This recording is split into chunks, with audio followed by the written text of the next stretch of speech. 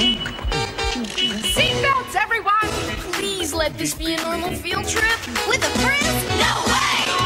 Cruising on down Main Street, you're relaxed and feeling good. Next thing that you know, you're seeing What's in the neighborhood? Surfing on the sound wave,